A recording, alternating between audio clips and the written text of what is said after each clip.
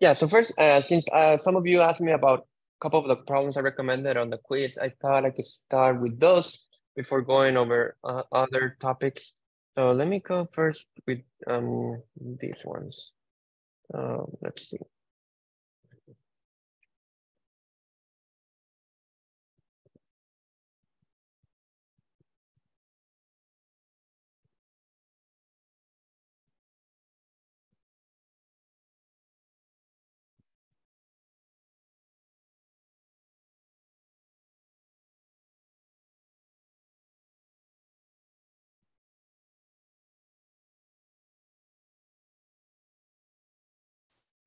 Okay, so one of the problems uh, that I was asked about what, by the way, if, you get stuck on one of, in general with the problems, you can always email me um, and I can try to help you out.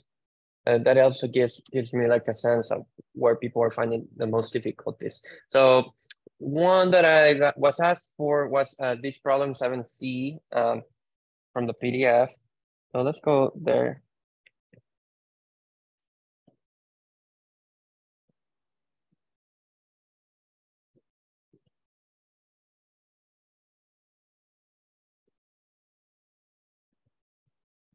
So in this problem, uh, you had um, what, 20 paintings, right?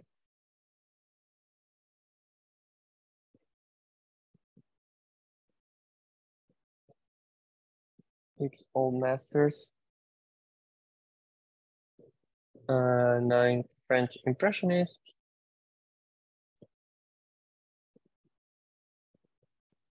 and five modern pieces.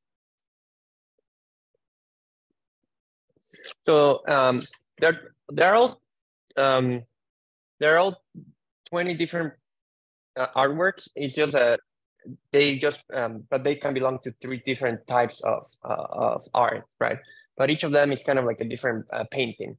Um, so the question in 7C was how many rankings are there if you only care about the type of the type of the painting, meaning like whether it's French Impressionist, Old Master, or Modern.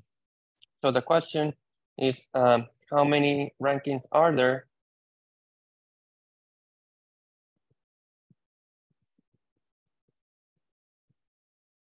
If um, you only care about the type of the painting.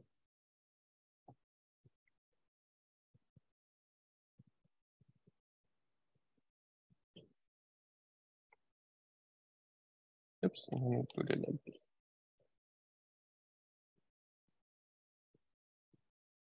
Okay.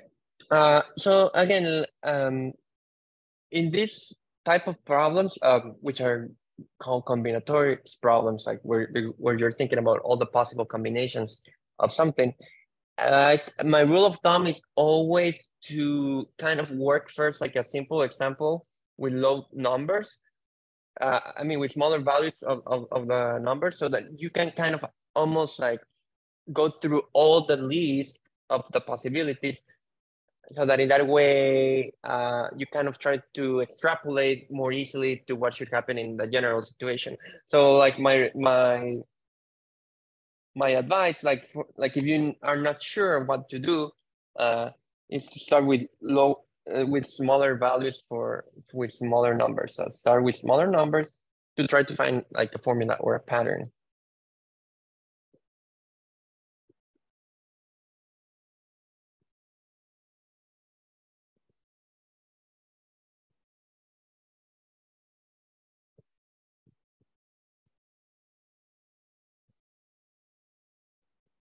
So, I mean, just to do it quick, uh, some somewhat simple, what would be smaller numbers? Like uh, originally in this problem, there were like 20 paintings.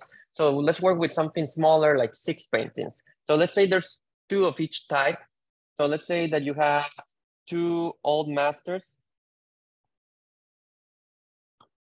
two French, and two modern, right?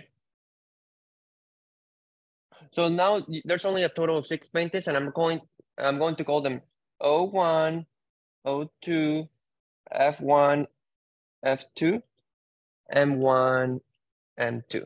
Is that okay? So like, hopefully the letter kind of tells you the type, right? And so there are two of each type. And so those are like the symbols that I'm working with. Is that making sense so far?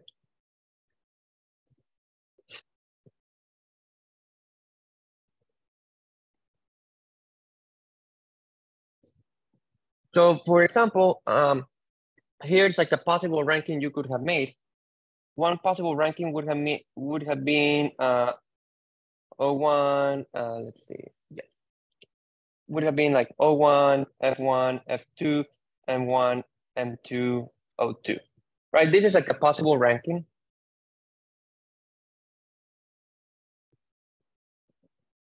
Right, so this is the first place, second place, third, fourth, fifth, sixth place, right?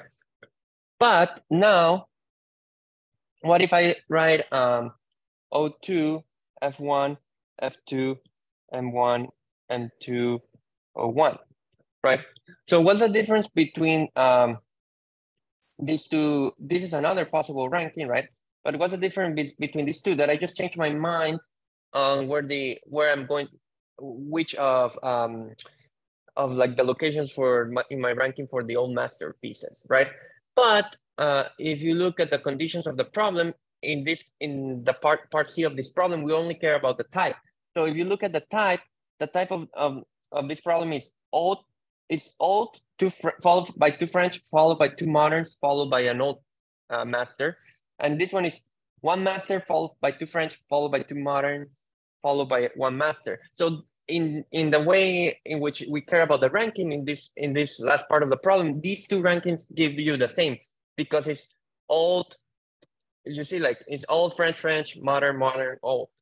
So like these two now count as the same um as giving you the same ranking. Is that making sense?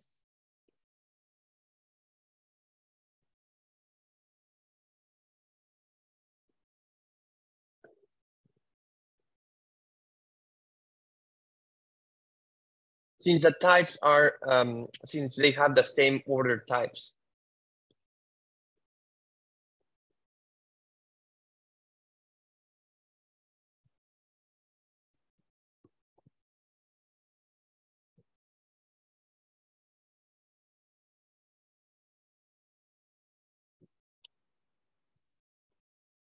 The type is old to French to modern old. That making sense? Uh, learning questions about this? Like if you notice it, like kind of all, all the problem becomes a lot more easy to understand.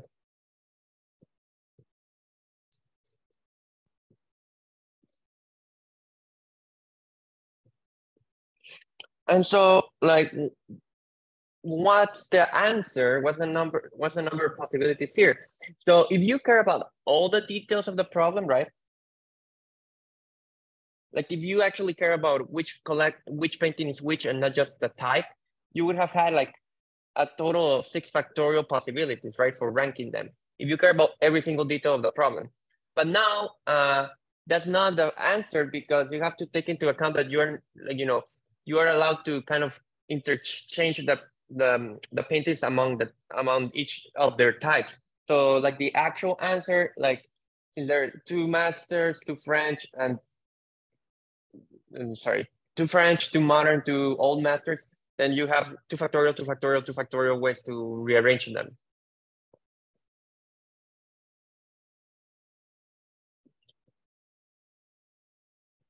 Right, because it is like saying like you you have to divide by the number in which you could have rearranged the uh, old masters and then divide by the number in which you could have rearranged the French ones and then the same for the modern ones. Is that making sense?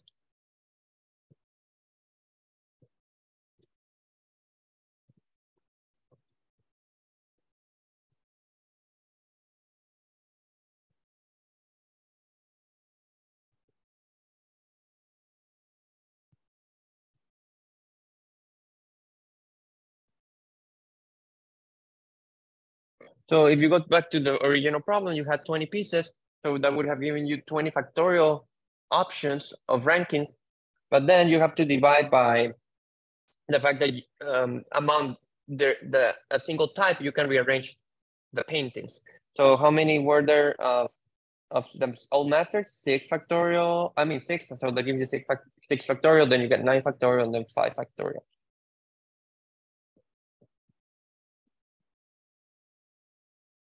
Is that making sense? Are there any questions about this?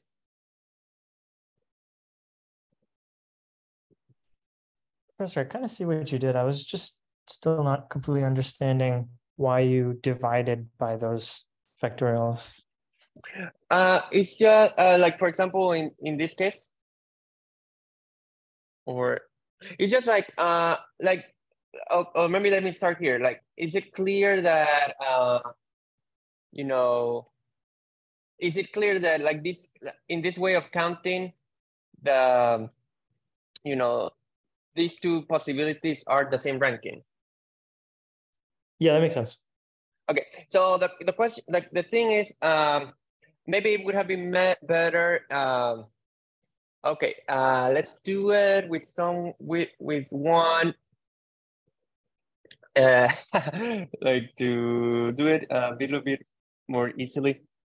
this is why I'm saying that it's always better when it's. Uh, it may be uh, confusing because two factorial is just two. Uh, so it, maybe we need three, so the three factorial can make a difference. So let's say you had had only like three old masters and two French, just to make it easier. So three old masters and two French, right?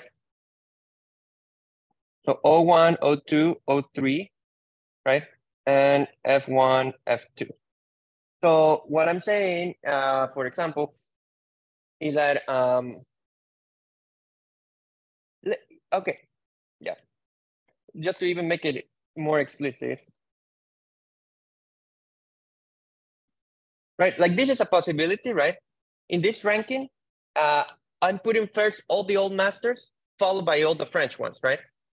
Um, what I'm saying now is that O2, O1, O3, F1, F2, right? Would also give you the same ranking as before. Uh, is that making sense? Because uh, here is three old masters followed by two French, right? Um, is, that, is that okay so far, so good? Okay, I think I think I'm starting to see where the right. So, so, how many in how many ways can I put like the three old ones in three factorial ways, right? Uh, but then like I could also like kind of modify the old the French ones on my at my own will. So that's why you get three in this case, like that's why you would get five factorial divided by 3 factorial over 2 factorial. Is that better now? I think it's kind of, probably my mistake was to have used 2 and 2. But when you have 2 and 3, it kind of makes more sense.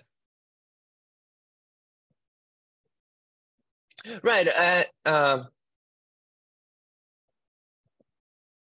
yeah, it's kind of um, like many, um, you know, one way to begin here is always to like think oh, how, how could you make the count if all the differences in the world matter? And then you start like kind of dividing by like the differences that you, like the things that you're willing to ignore. So here we're going, we're willing to ignore like the order in which, like, you know, we're allowed to move our, uh, the order, the old ones, or like the, the same, the paintings about the same type, as long as we preserve in, in the position where the old masters appeared and things like that. So that's why you, you get like this overcounting factor. Um, but I mean, yeah, like there are many ways to see it, but usually for these problems, again, my rule of thumb is like start with something small where you're actually convinced of the prop uh, of the number of solutions, and then proceed to like the general formula.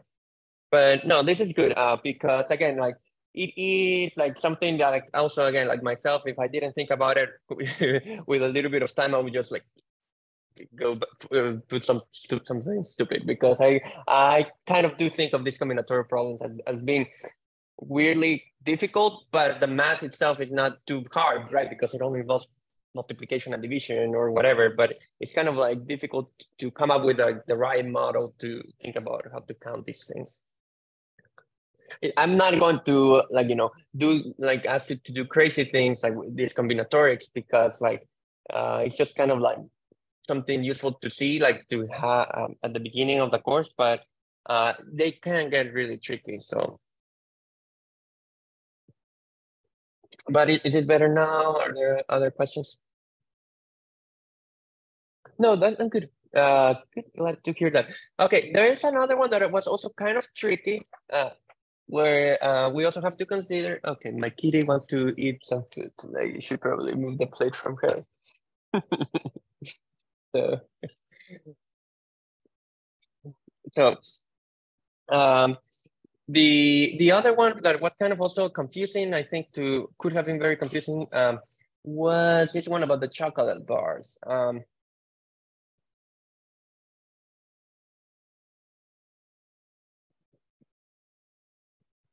So let's see, where did I have it? Uh, where was this problem? What was the number of this problem? Just to write it down. Um, anyone remember? Oh, okay. It was problem 13, I, I believe.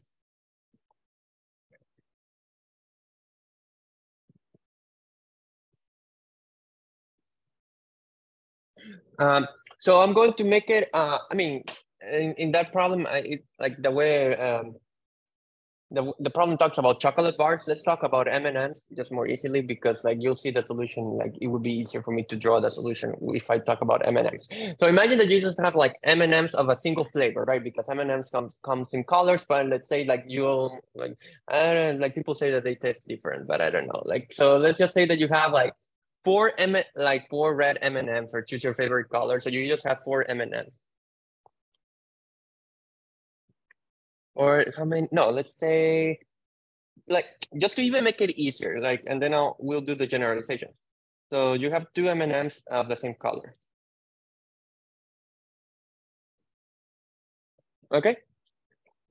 And then uh, you you have like a group of, of three friends.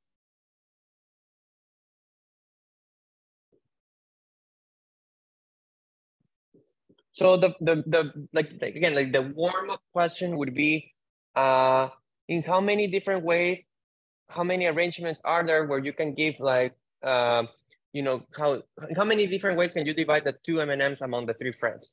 Okay, so let's ask it like that. In how many ways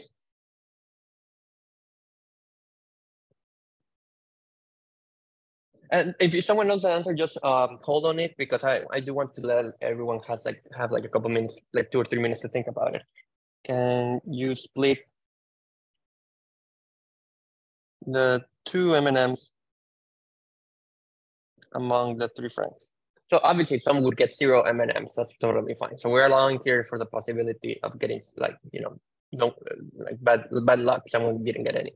And someone could also get two, that's totally fine as well.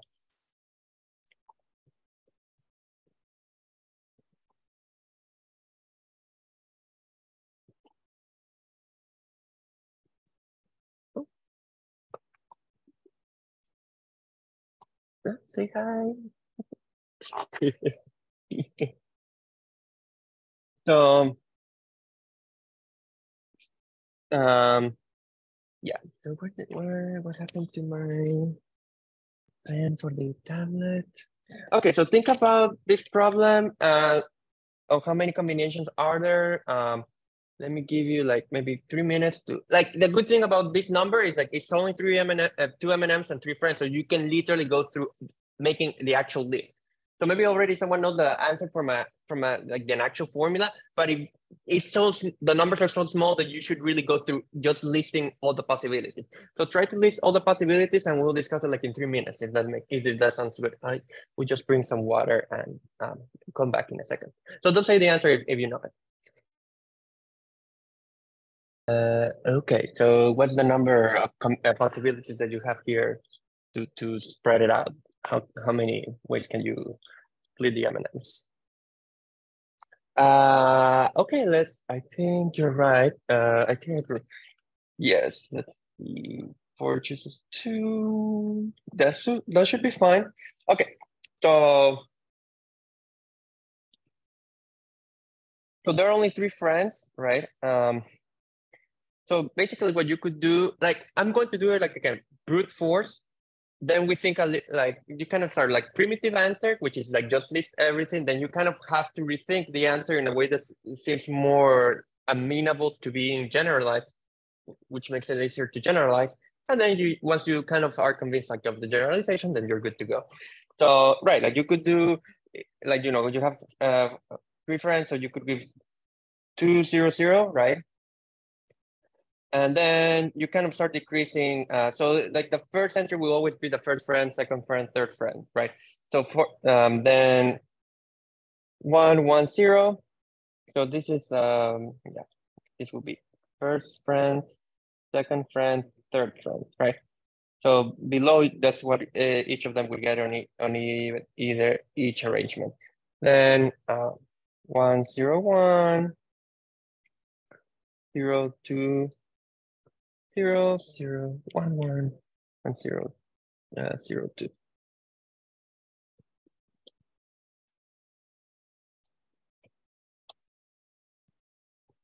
And um, so there's six ways. And here's important where we I said at the beginning that all the two M&Ms were uh, red because like imagine one had been red and the other green, then this is kind of like not clear enough because in this possibility, like, you know, someone could have obtained, this could represent like that uh, this one got the red one and then this one, the, the green one, right? But there, then there would be a case where this one got the green one and the other person got the red one. But I mean, if there are M&Ms, like, you know, no one would argue about which M&M they got if they're of the same color, right? Like that's the whole point of like assuming that they are perfectly clones of one another, right? Same size, same, same dimensions. It would, you wouldn't care about which of the two M red M&Ms you got. So that's why uh, it's only six uh, instead of more. There would be more if uh, you also cared about, you know, the, you know, if the colors had been different and, and that were something important to you. Is that making sense? So that's why um, you get uh, six ways.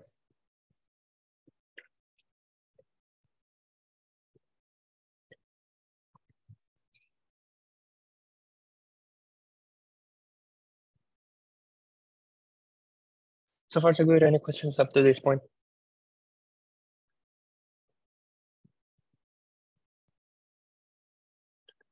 So now we go come to like uh, the actual interpretation, which is like the more elegant interpretation. This is called the stars at the stars and bars method or approach. Uh, so let's call let's which will like kind of give you like a sense of what the answer should be four chooses two, which uh, shouldn't be clear uh, from now, uh, from what I, has been said so far, I think. So let's say why this should be, um, let's call this stars and bars method. Well, instead of representing, so I'm going to write this same, um, these six answers, but um, in a slightly more diagrammatic way, like with more like pictures. So let me copy first the numbers. So 200, 110, 101, 020, 011, 002. Okay, so another like um, another way to think about this, uh, how to write down these uh, these combinations is like you can write like a star or a ball or like a circle representing like an M&M. Okay,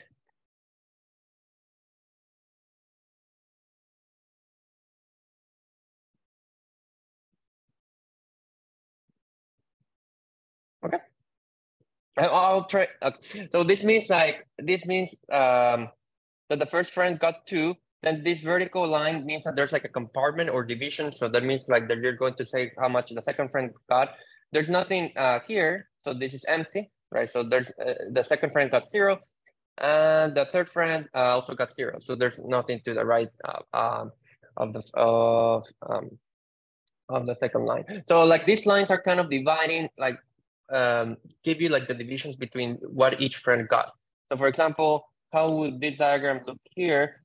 Like the first friend got one, then uh, there's a line because I'm going to say what the second friend got. And uh, which got one, and then there's another another line to indicate what the third friend got and the, the this third friend got zero. Okay, what happens in the other case? Um,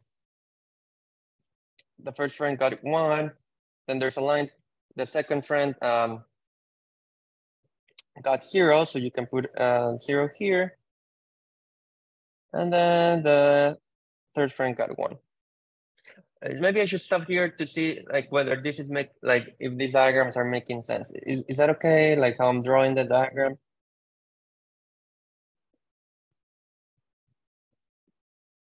And then how do the last two look? Uh, Just to make sure like we're all on the same page. The first friend got zero, so you should start with the line because you, you didn't get give anything to them. And then you could um two to the second friend and then zero. And then the again like this, something like this.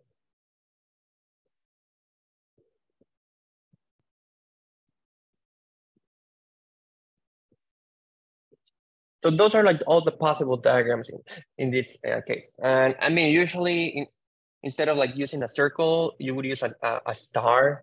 It's just uh, harder to draw a star. So, but that's why this is called the stars and bars method, because instead of a circle, you would draw a star. Uh, I just find that like more tedious. Okay.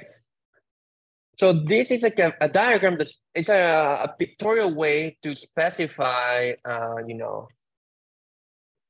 like who got who got what and it's completely unambiguous right if you read the diagram you would know or you would always be able to to to say uh, who got what that is that so far so good so if you see each diagram is represented by four symbols right these symbols can be either like stars or or like for four by four slots maybe i should say uh, and on each slot you can put either as uh, a, um, as a circle or a bar, right? So so you have four positions, and on top of each, you kind of place either um, a circle or a bar. So one way to think about it is it's kind of like you.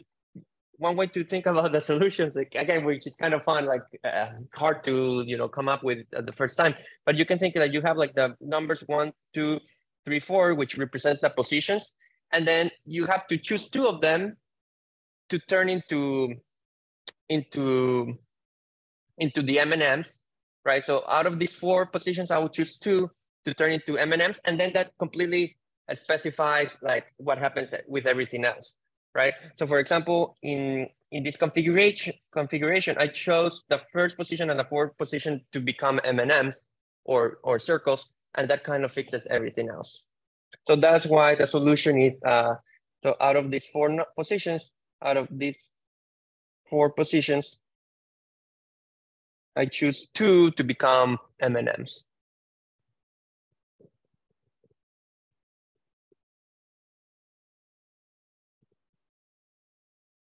Hence, uh, the answer is four choices two.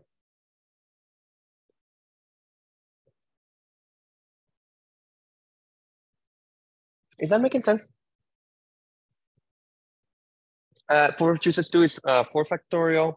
Uh, sorry, I should have written that. 4 factorial over 2 factorial, 2 factorial. So that, uh, right, 4 factorial is 24 over 2 times 2. So that's 6. So that's how you end up with 6.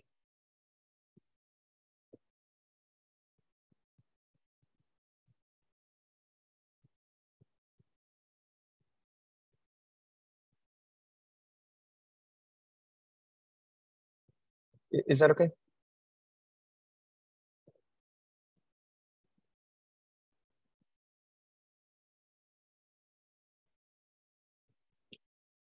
So in general,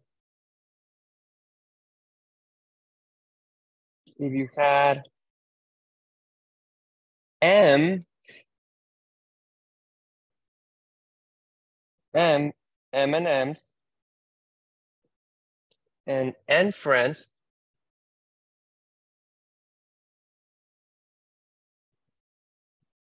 there are so based on this like this is where you, if you are convinced of the small example you can kind of like hit the nail the find the right answer almost straight immediately. So what do you think how many possibilities are there like in general when you have m m&ms and n friends? What would you put let's start like here. What should you put at the bottom okay so you're giving me yes that's the one on the top right um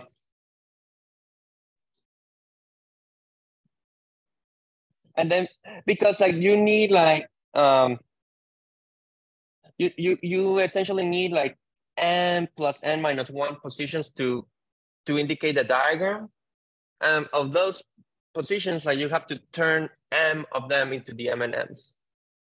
So that's why there are like those possibilities. Is that making sense?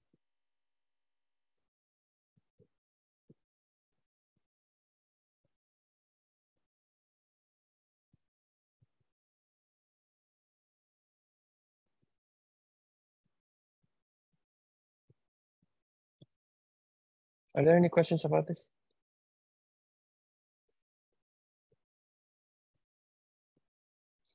No problem. Uh, so it's a, again like it's kind of like a very elegant solution, um, and it's kind of like a, and there are many problems which at the end of the day become indistinct. Like the solution is kind of indistinguishable from what we just did. So this star and bars method, it is like very useful. Like you know, there are many problems that just kind of have like the same um, flavor as the one I just I just uh, I just showed you like here. So it's not obvious if it were only for handing out chocolate piece uh, bars like that would be interesting to know, but not too useful. It's just that many problems can be reinterpreted in the same way, and so the solution is uh, that it goes through this way. Okay, so in in the problem on the PDF, like you had 14 chocolate bars and 10 friends, and with that you can kind of like with this information you can kind of answer easily that problem um, is that making sense so like in the original problem you had uh you had uh, 14 chocolate bars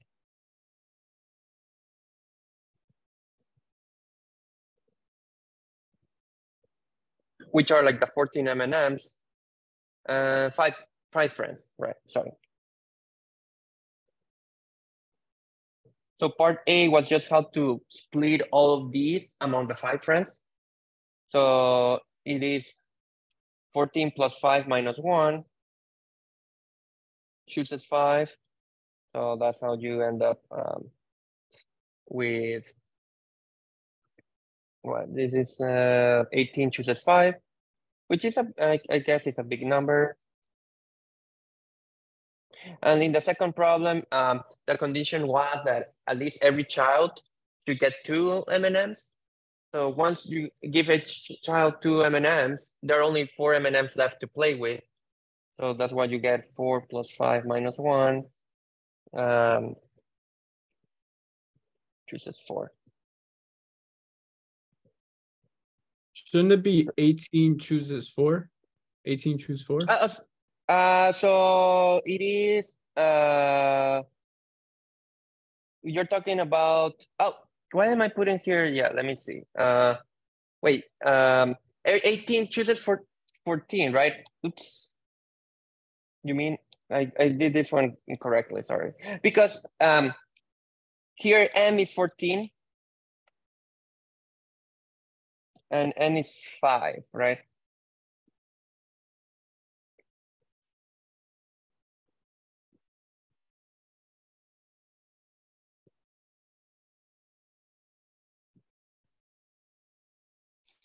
Which is a, a, which is the same as 18 chooses 4, by the way, uh, if you prefer to see it.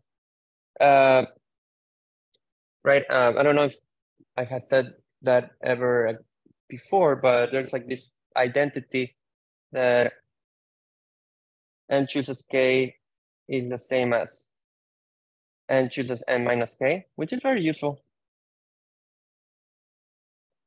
So that's why that, I mean, that's why these two coincide. Is that good now? Uh, yeah, yeah. Sorry, I did screw up uh, part A. Yeah, that's good. Thank you. No, no, no. It's good. Thanks. Thanks for noticing. Um, and uh, then yeah, that, question. Uh huh. Sure.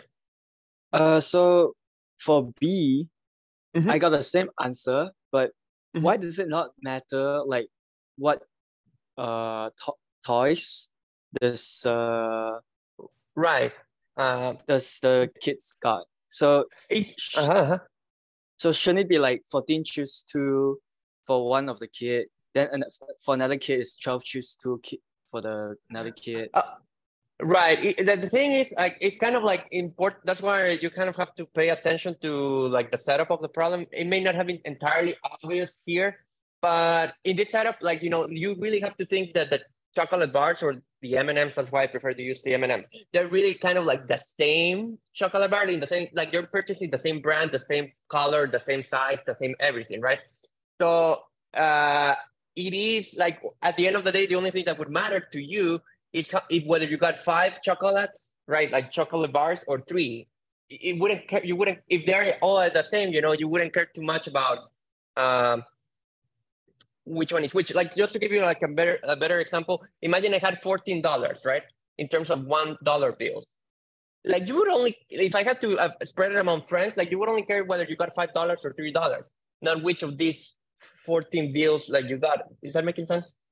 Um, so yeah, it's, yeah, it's, it does. Thank you. Right, it, no, no, it, but it's kind of that's also one of the tricky things. But it's kind of like related to this indistinguishability thing. Like no one in the world had ever argued, like, you know, like people would only argue, you gave me seven dollars instead of nine, and I wanted nine. You never would say, oh, you didn't choose like the seven bills that I one dollar bills that I wanted, because someone would care. Because in a sense, like in an economic sense, you know, one dollar is one dollar. You know, abstractly, it does.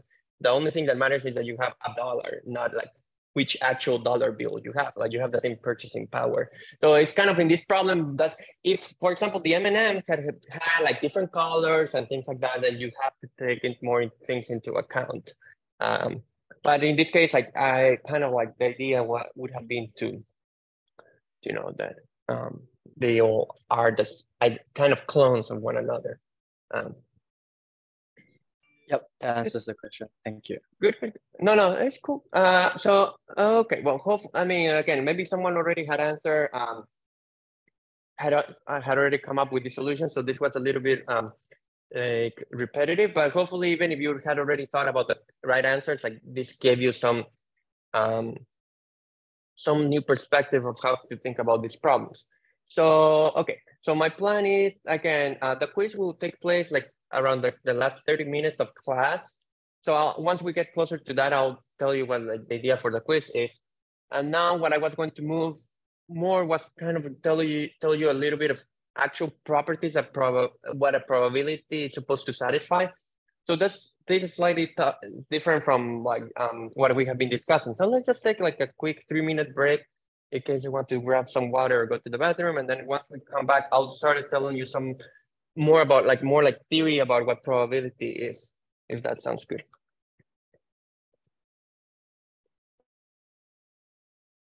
Okay, um, let's see. So yeah, my as I was saying, my the next objective was to talk a little bit about probability, um, more like from like a theoretical point of view. Of course, we'll keep doing examples and things like that, especially back to next week. But it's kind of useful to know some actual properties about probabilities uh, so that um, this makes more sense. So, I mean, so that it's easier to solve some like actual examples. So the first, um,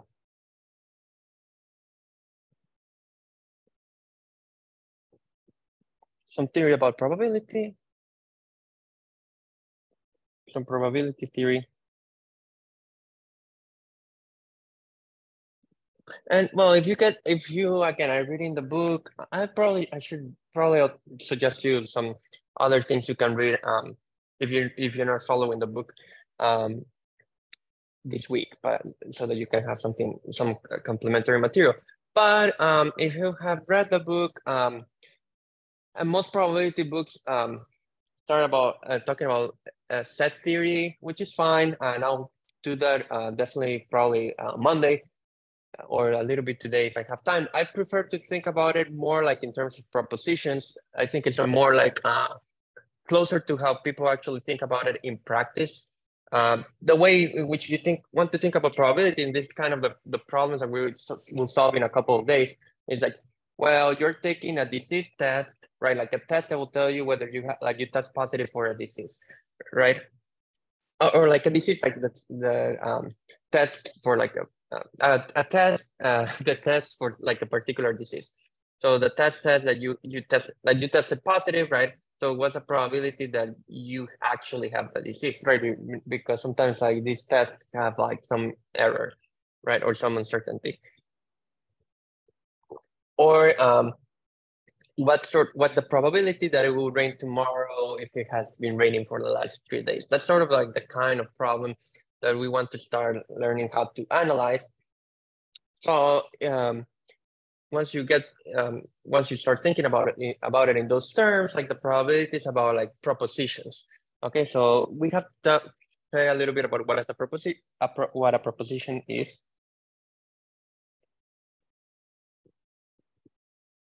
Probability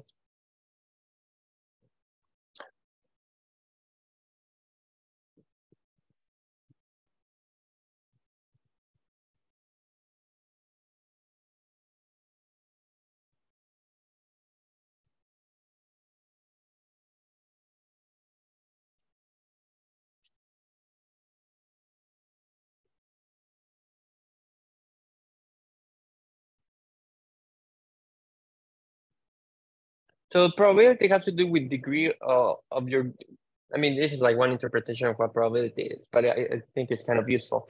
It is related to your degree of belief in a proposition. So what is a proposition? Uh, you haven't seen that before. A proposition is essentially a statement or a sentence that can be true or false, okay?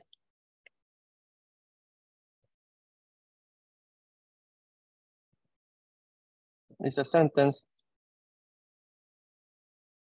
uh, that can be true or false.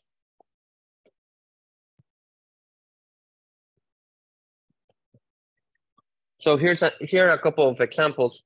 So here's sentence one.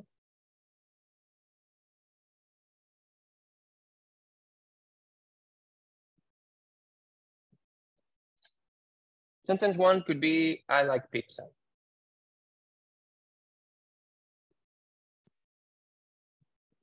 So th that statement makes sense. And you would think that's either true or false, right? So there's like a truth value that can be true or false. Um, here's a, uh, another statement, um, more a mathematical statement, perhaps. Uh, three is a prime number. I mean, in case you have seen what prime number is. I imagine most of you have, but I mean, it's just like prime number just means that it's only the only integers that positive integers that divide are like one and one and the number itself. So.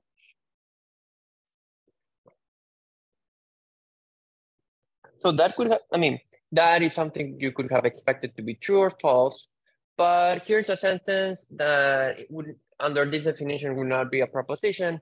Hello, so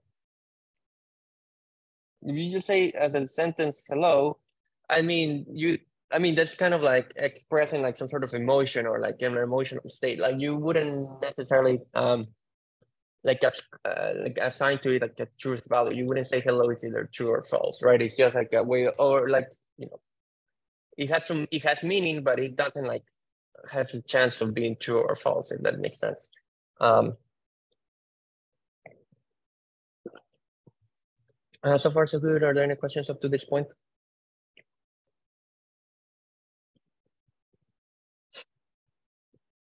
So this one is not a proposition.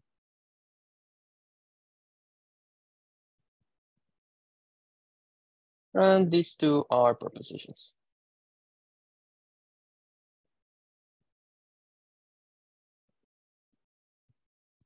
So there are two extreme kinds of propositions, like so propositions, again, are just special kinds of sentences, and they kind of lie on a spectrum. And once that uh, one end of the spectrum is called a tautology.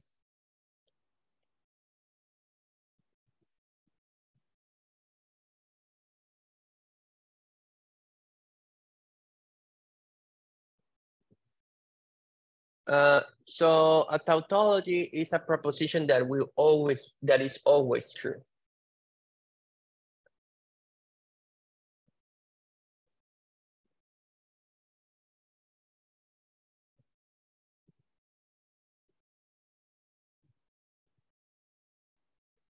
Uh, so what would be, a, let's call that uh, T for tautology. So here's like an example of a proposition that is always true. Um,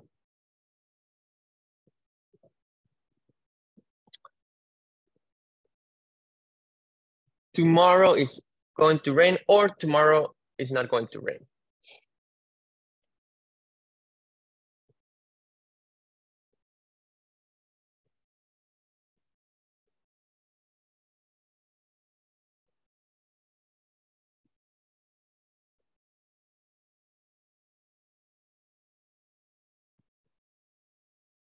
Is that making sense? Like, there's no way that's false, right? You're basically giving both possibilities uh, uh, in your sentence. So how could how could that fail to be true? You know, you're saying it either happens or it doesn't happen, right? Um, is that making sense? Uh, what's another sort of tautology you you could think of uh, that you can come up with?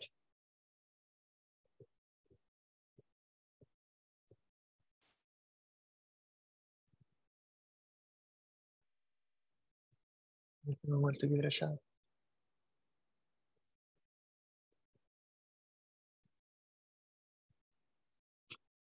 Uh, okay, two is an even number. That's good. That would be um, a tautology. Actually, okay, that that's uh, that's the one of the example of Earth rotates. That you kind of have to be more careful. Uh, it's not something that like Right. It, there's a difference between you finding out that the Earth rotates, right? Like so, that would make it true. But that's kind of that's different. That kind of saying that it had to be necessarily true. So you could imagine kind of like the the Earth holding still, you know. Um, so that's why I wouldn't make it a tautology like what you cannot imagine is like there being like a possibility where tomorrow uh you know it like so what i'm trying to say is that there's a difference between the earth rotating because that could have been true or false it just happens to be true versus like saying tomorrow i will eat or tomorrow i will not eat. There's no way for that to fail. You know what i mean? Um so there's like a subtle difference between the two cases. Like so tautology is not something that happens to be true. Um it's something that there's no way for it to fail. Like it's a lot, more, it's a way more powerful. Like so, if you believe in, you know, like usually yes, in the statements of mathematics, like what makes mathematics in, important is that kind of like the statements of mathematics are supposed to be tautologies. Well, that's more complicated. I mean, it's like an interesting philosophical thing. But I mean, it's supposed to be like you cannot deny like a statement, a mathematical statement. Uh, you could imagine, like for example, you could say F equals ma. That's Newton's second law, right?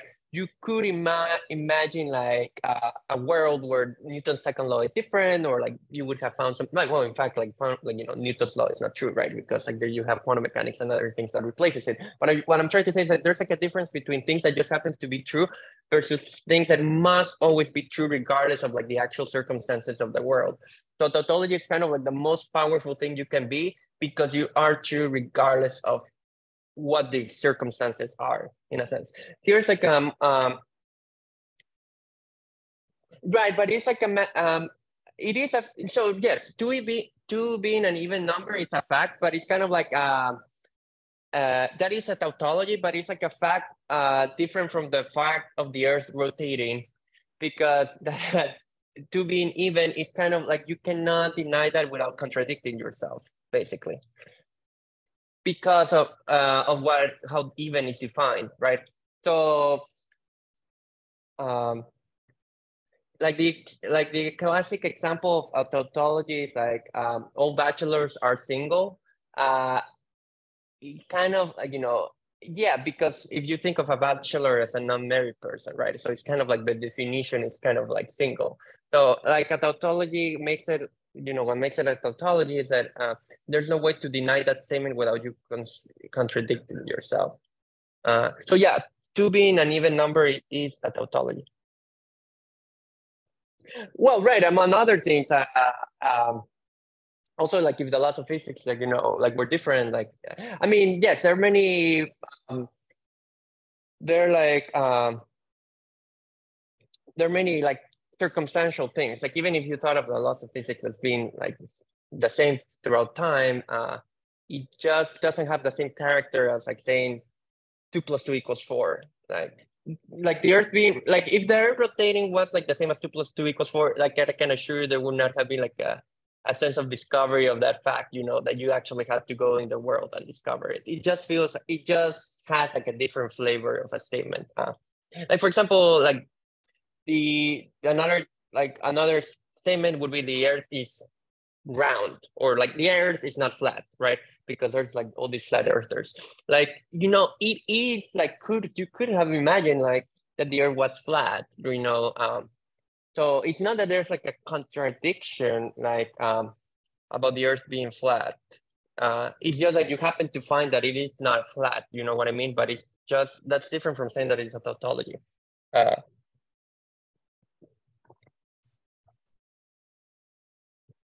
no, no, like the world would have been different. Uh, don't get me wrong. I'm just saying that um, 100%, like uh, many things would have changed if the Earth were not uh, rotating, for example. But that doesn't mean that it was impossible for the Earth not to rotate. Uh, it could require different laws of physics and other things, but that, that doesn't mean it would have been impossible for uh, different laws of physics to exist. Um, you know what I mean? So it's kind of like, uh, you know, like there's this inverse gravitational force, like Newton's law, that is one over R, R squared. Uh, you could imagine like a universe where the Newton's gravitational force is one over R cubed. That's what I'm trying to say. Um, it gets some time. Yeah, no, totally. It gets some time to get used to it because it's kind of like bread and butter of like the philosophers things that not always are like share among uh, other courses, but it's kind of like there is a difference between something being like true regardless of like the circumstances of the world versus something being uh, true because like particular circumstances of the world. So for example, I like pizza, that that is true or false, but it's not a tautology because you could imagine the fact that you like pizza depending on, on hundreds of different factors. And if you had changed one of those factors slightly, you know, you would not have like pizza. You could like, you know, have changed your preferences of whether you like pizza or not. Um, is that making sense? Uh, so here's like a tautology which is more close to what um, we are interested in in probability theory. Here's one. Uh, if you throw uh, a dice, uh, let's say like a regular dice, and it lands on on and um, it lands on a two, then it lands on an even number, right? So if you throw a dice,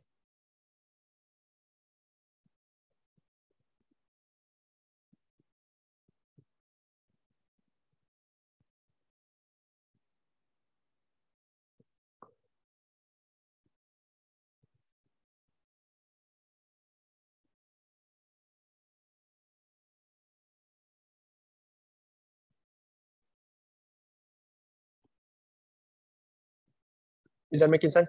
And it kind of comes back to this, uh, what someone mentioned on the chat, that two is an even number. This is kind of what makes it this statement a tautology. There's no way that if you get two on a die, when you roll it, throw it, that you wouldn't get a, an even number because two is an even number.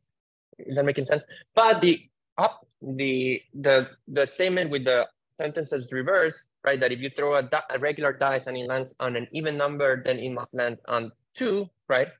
So let's think about the reverse one. So reverse statement.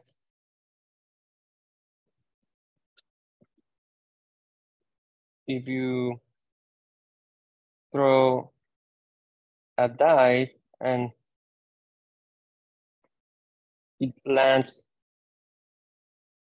on an even number, then it lands on a two,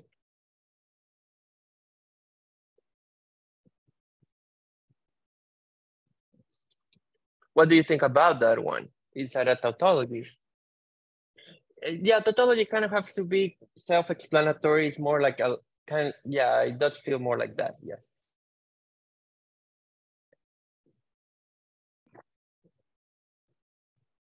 So, what do you think about the reverse statement? Would that be a tautology?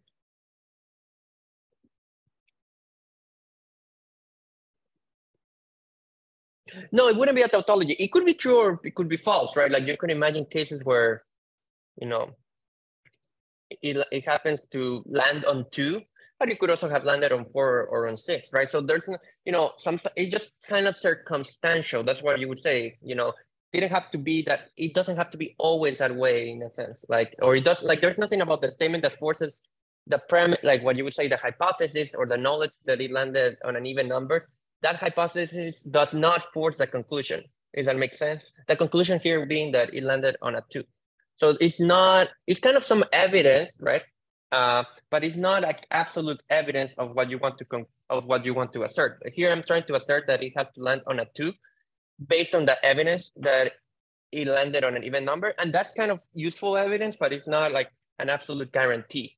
Is that making sense?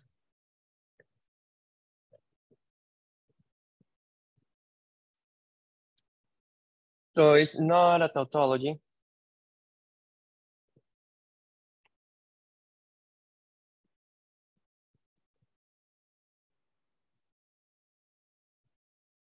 Uh, so it depends on how, uh, what you mean by logically direct to a truth. Uh, like that, right? Like that tautology is something that's supposed to be truth. All like you know, in every circumstance, under all circumstances. But I'm not sure if like that's what you were trying to say. Uh, um, but like, and this is actually the key. That's this is actually the sort of like example we're interested in probability theory where like this happening kind of increases our like you know there's a difference between you saying i don't know anything about a die that i just threw what's the probability of it being a two like that landed on a two versus saying i threw a dice i know the outcome was an even number what's the probability that that's a two? You know that difference in knowledge right not knowing anything versus not knowing that uh, it landed on a even number should increase your belief or should increase your guess. Uh, you know, if you were thinking about making bets, that should increase the probability that it actually landed on a two. So saying that it landed on an even number should have like some consequence to to like you know to your belief that it lands on a two. So we'll see that if you don't know anything else, you would like to say, what should if you had to make a guess again based on intu your intuitions about how this probability should work if I told you I landed, I threw a dice, it lands on even number, what's the probability of it being two? What do you think uh, that uh, that number should be? Yeah, it should be one third, right? Because you kind of killed that half of the chances. Like you eliminated one, three, and five as options. So you only leave three, and if you don't know anything now, you should just bet uh, a third on the, on all of them. Is that making sense?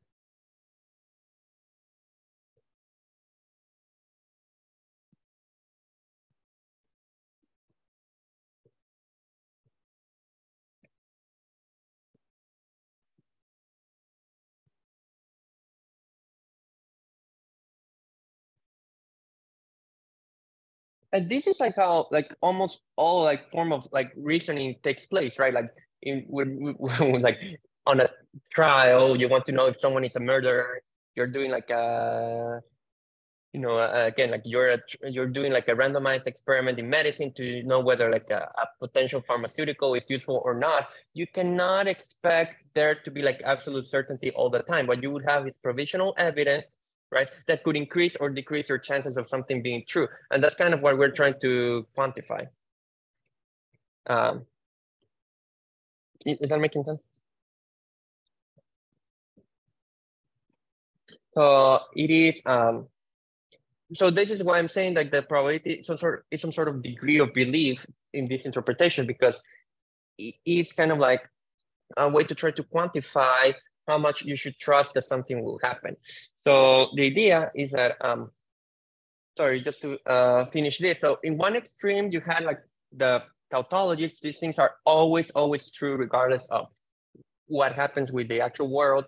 Then you have in the middle more wishy-washy things like regular sentences, like where like I like pizza, tomorrow is going to rain, etc., etc. And then in the opposite expect end of the spectrum, the opposite of a tautology is a contradiction. So the opposite of a tautology or the other end of the spectrum. So if you can think about it, if you want like a diagram, you can put like sentences here. This is like a diagram for sentences. So here you have tautologies. We, here you have like ordinary sentences.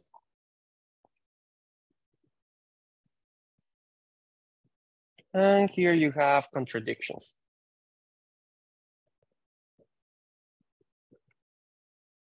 And what's a contradiction? A contradiction, well, uh, I mean, that's probably more common because that's like the word that people do use when they talk. Rarely you will hear someone use the word tautology. Sounds too fancy, but contradiction that's kind of more common, right? So a contradiction is like something that's false, right? a, a contradiction is a sentence that is always false.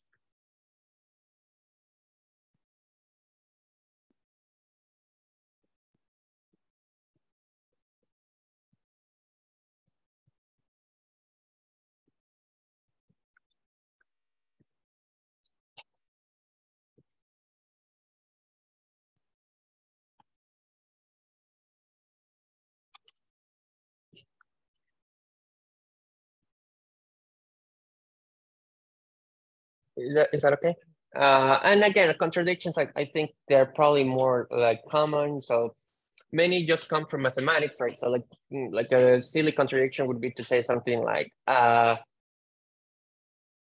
well, uh, two is um, big, like, you know, bigger than zero and less than zero, something very dumb like that. So like two is bigger than zero, than zero.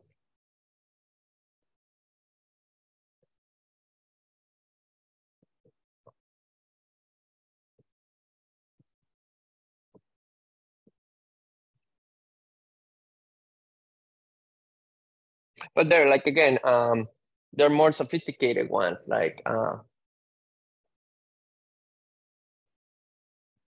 like um let's see.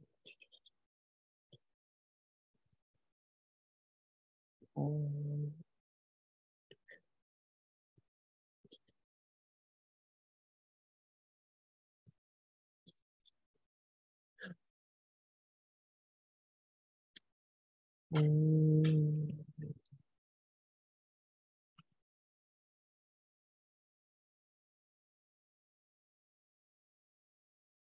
Let, let me see if I find uh okay, like one from calculus, if you remember calculus.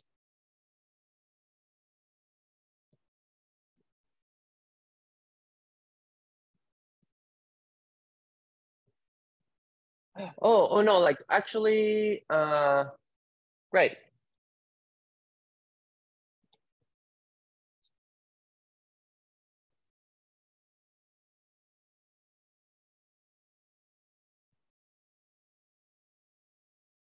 This is a classic, right? So uh, a, a contradict, a second contradiction, again, many just come from mathematics. So second contradiction would be to say square, say square root of two is a, is a rational number. So if you remember, square a rational number just means that you can write it as a ratio of two integers, right? Um, like so, a rational number would be like three fifths or four sevenths. And so if you think asserting that square root of two is a rational number is a contradiction, and that's the proof of that is kind of fun. And that's kind of like the first, almost like one of the first proofs by contradiction that it was ever discovered in history of humanity. The Pythagoreans gave a proof of it. Like uh, so again, it's not this one is a better statement because it's not by all by any means like obvious, right? Like the first contradiction that I gave you was kind of obvious. This one actually requires some work, you know, saying that something that the second was a, is a contradiction. So I'm just saying contradictions can be like quite sophisticated. It's not uh, they're not always silly looking. Is that making sense? So you just have, but I'm just saying like the point of a contradiction is again that it will always be false. Like there's no way to, for the statement to be true sometimes. Uh, so that's why they're the extreme end of tautology. And again, that's a lot very common, like in law and other things, right? So in law, when you're trying to convince a jury, then you will say, well, if you assume what this like the other person is saying, then you reach like an absurd conclusion, right? So you, re you reach like a, con a contradiction. So in debates or many things, like this is kind of like an important tool to have, like a toolkit, like, you know, detecting contradictions. Is that making sense?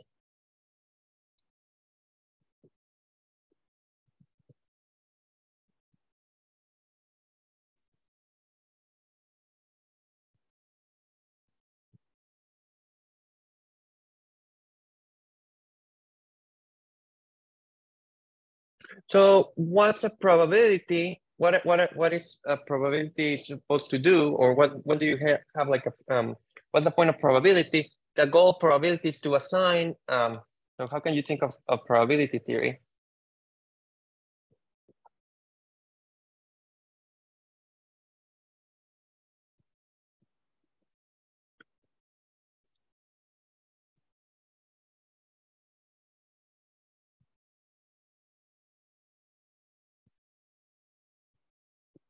Well, the idea is that it ass assigns to each sentence a number between zero and one. So, okay, so here you're going to have like a sentence or like a proposition or like, well, I should have said like a proposition. Let's call it S because otherwise it will be too confusing. So it's kind of like a sentence again that can be true or false and the a, a probability the probability of S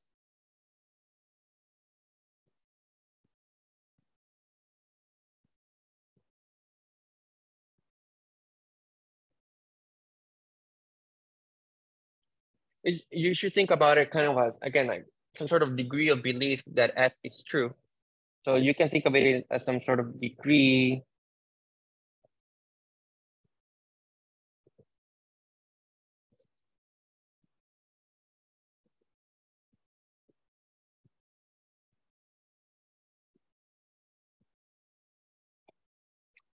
So it's going to be a number between, we take it to be a, a, number between zero and one. So the probability of any sent, any proposition or any sentence will be, be, will be between zero and one.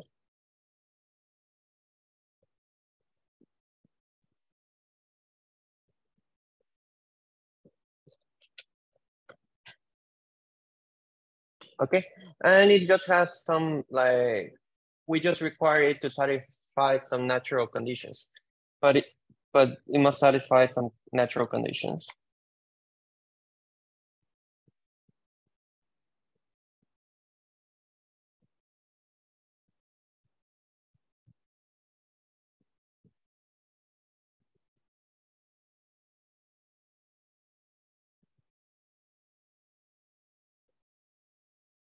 So the first one is what should be the probability of a tautology?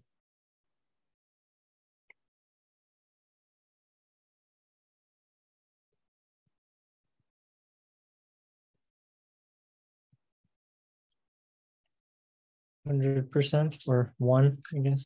Right. If something is a tautology, you should always bet your life on it, right? Think of it in terms of betting games. So if you so if, if you know something is true all the time, you should bet on that option. So are tautology sometimes like silly statements like a book is a book like something that's like right in like in the philosophical circles a tautology would be something like a is A, like a book is a book. Yeah, mm. that's kind of like the basic. Actually, that's like the Aristotelian law of identity.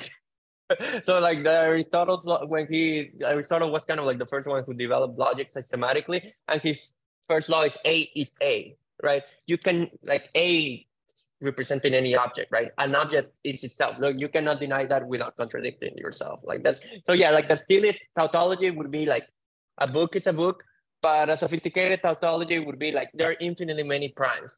Like in a, like I mean, and that's not a, you kind of don't necessarily think about it that way because like you there's some sort of sense of discovery, right? You know, um, because it's not something like seems so obvious, but it's kind of like uh, kind of just like a tautology in the sense that you cannot deny that without uh, reaching a contradiction. Because if you deny that, there is a proof that you know if you assume that there are finally many primes, you reach a contradiction. So um, but yeah, tautologies, like psychologically, they can go from very stupid, very silly looking. Uh, right, a tautology is an object, is an egg or not an egg. Yeah. Uh, so yeah, those are kind of like on the spec and on the psychological spectrum. Um, they seem very stupid to like tautologies that give you one million dollar prizes. So there's like these millennium prizes in mathematics about solving um, some of the most important problems in mathematics and there's seven, one has already been solved, but if you solve one of the other six, you get a million dollars. But it's still considered like in from this philosophical or pro, um, definitional perspective, it's a tautology. So there are tautologies that if you show that they're taut- there are statements that if you show their tautologies, you get a one million dollars. Like and eternal fame. So um, so it's like you know it's like mm, in in terms of degree of you know how silly they look, they won't vary widely. Um, okay.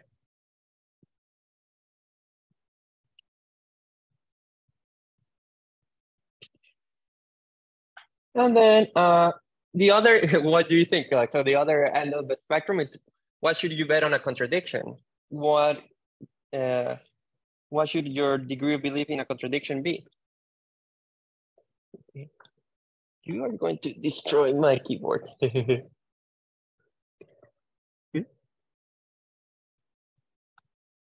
yes, it should be zero.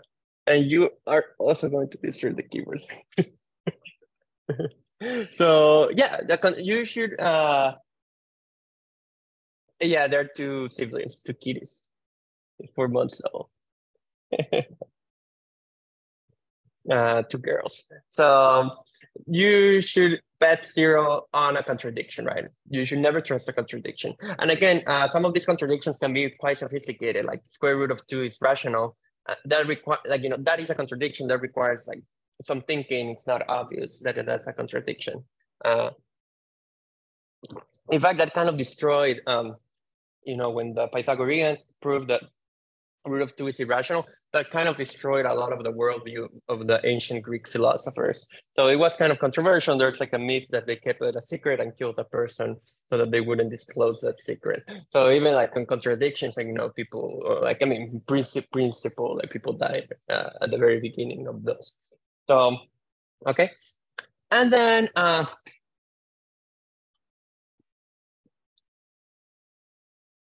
uh, if you have, and just to finish before moving to the quiz, and then I'll tell you more properties next time. So if you have a sentence, you can take the negation of that sentence. Um, let me write it like that. I haven't gone into this, but it will be very natural. So you have a sentence as, uh, well, that's what people say. I mean, they were like a cult so they did have like weird things. So it's not so clear how how much they really how violent they were, but they are like at least it's a funny uh, uh, story that like they they they killed someone for that. Uh, but I, am not sure. Like you know, like that could be true. But it's a fun thing to tell. But they did have like weird beliefs. Uh, I mean, by our standards. So, um, they had like yeah some interesting things. So every sentence has a negation Uh, I'll call the negation, like this will look a little bit weird at the moment, as C. This C will represent complement. Uh, so this C stands for complement. But for now, you don't have to worry too much about it. But what, what would be like what's, for example, the negation of a sentence? So if my sentence is, I like pizza,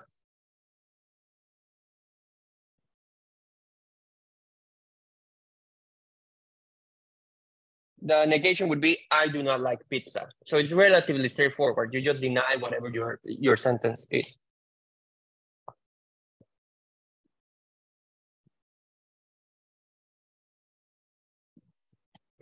Okay, if your sentence is tomorrow is going to rain, the negation would be tomorrow is not going to rain, right?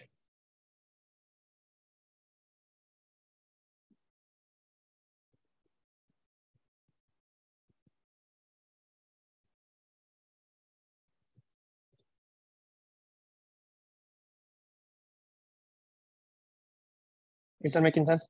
So what do you think the negation of a tautology is? based on this examples.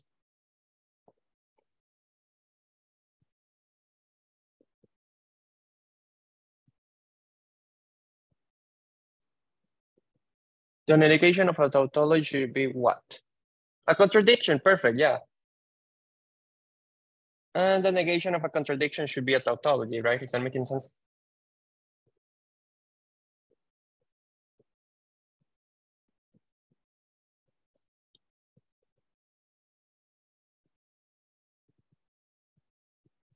it should be a tautology. Or is a tautology, that's true actually, is a tautology.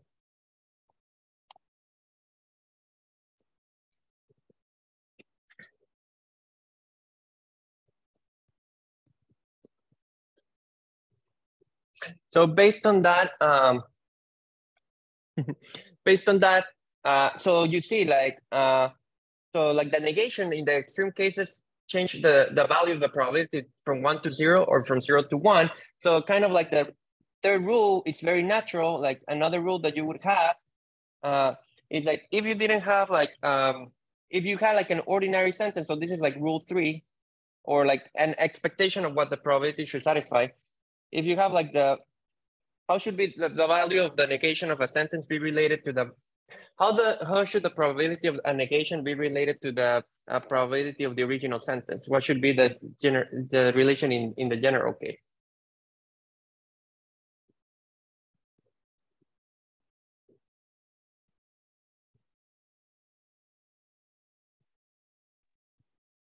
yeah, my right. Sorry.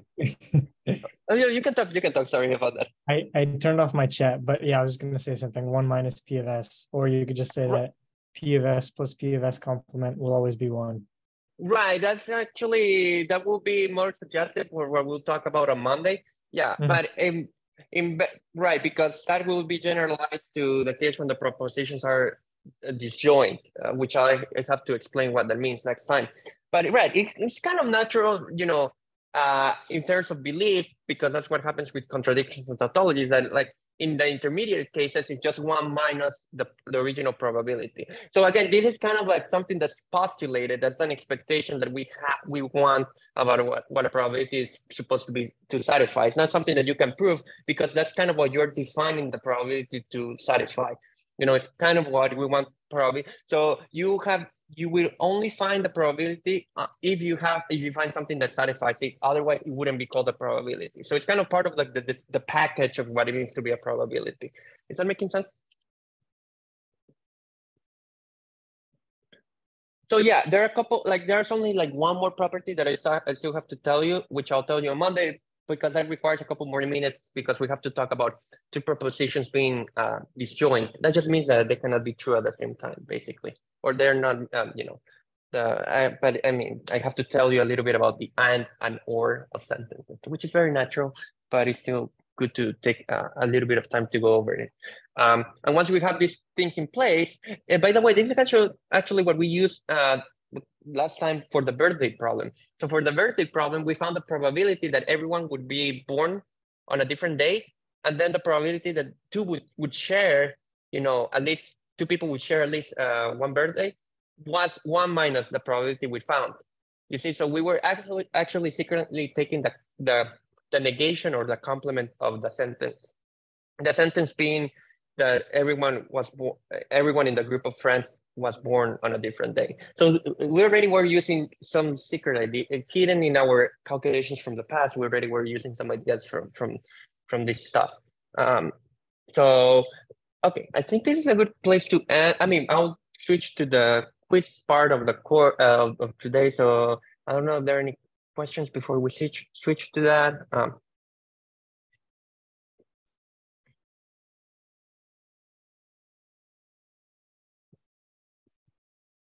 Wait, give me a second. Okay, okay. So there are only two things, okay, that I wanted to say before you take the quiz. So for like this is like one of the reasons why uh, we're doing the quizzes at the end of the class is that once you're done with the quiz, you can, you know, you don't have to log in again back to Zoom.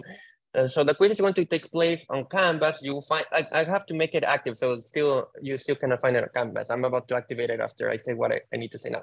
So uh, you'll take it through Respondus. Hopefully that works for everyone. I mean, today is like the first week, so it's more like for you to try it out, uh, see how it, it, all goes.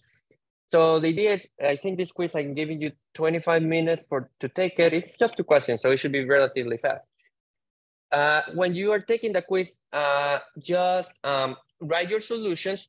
Uh, for this problem, the solutions are just like one or two sentences. So it's not that I'm expecting you to actually write a lot of things. It's just like, again, more for you to try it for next times where we will actually have something else, more details to, to say. And then after you're done with the quiz, there's something called Gradescope, which you see here. And there should be like an assignment on Gradescope that you can use to upload, uh, upload your solutions. So just take like a screenshot of what you write on your note paper uh, and upload it as a single PDF. No, for here, like I just expecting you to, you know, don't don't say too much, like you know, uh, it, like for example, don't like don't write just like seventy. If seventy is like five fact, well, seventy is not five factorial, but you know what I mean. It's you know just write like the answers like kind of in a way that seems like you you didn't just like memorize the number. So, but yeah, I'm don't. It's more like, you know, it, write like four chooses two instead of like just writing what that number is. Like you know, but you don't have to go through what your reasoning is. So it's just more, I'm just, uh, it's more for you to try the upload part because for the two problems that I'm giving you, literally there's almost nothing to write. But don't write like just like the answer is 70 because, you know, just write like the answer is this factorial divided by this factorial and that happens to be 70 or whatever. So, you know, but don't, don't, you don't have to say why it's, uh, uh, you know, these combinations of factorials or whatever you got. Yeah, yeah. So like a solution that show, shows what you found, but not like uh, uh, you know a lot of like uh, details. It's more like again, I just want you to try the actual upload part. So it's more today is more like for you to try how things go. See, like you know, if you had any difficulties because I can never use Gradescope for upload, so I also don't know how this will work. So don't freak out if if that that's not working. It's for I just want to if there are issues, that's fine. I just want to know how everyone is uh, is if you if this, if this work well for for you. But yeah, so with that set in place, like yeah, you cannot take if you don't have any questions, you can just like log off of Zoom and start taking the quiz, um, and then just upload it on Gradescope. I mean, uh, eventually I would drop it. Uh, usually what I'll do is like I just give more points to each quiz beyond the minimum. So it is kind of like a drop policy, but uh, more because I inflate the, the number of points on each quiz. But yeah, like I would drop it if like, but it's too easy, I think. So I think people, if you answer it, like would get it right. But yeah, I would drop it if like that's a problem. Uh, no, you have 30 minutes for doing the quiz and 15 for the submission. So the submission is different from the from the quiz part. And we don't need the submission. Can we? Do we have to use? Do we have to be on the um browser thing to submit? No, the submit the submission. Uh, you will exit the lockdown browser. Yeah. Okay, because I don't think I'll be able to. Yeah. yeah okay. Right. Right. Yeah. Otherwise, you wouldn't be. Um. Yeah. So right. Um. Yes. Uh, is there, are there any other questions about this? Yeah. So uh, right. You can log off. Uh, you you will log off from Respondus to to do it to do the submission. But yeah. So just do it. Um. Let me know if there are any issues, but don't worry too much about it. So, and I'll see you on Monday. That sounds good. I'll send you like uh, the information about today's class in a couple of minutes and the video for the recordings. All right. Okay. We can hop off the lecture, right? Oh, thank you. Bye. Thank you. Have a good one. Yeah, sure. Okay, see you too.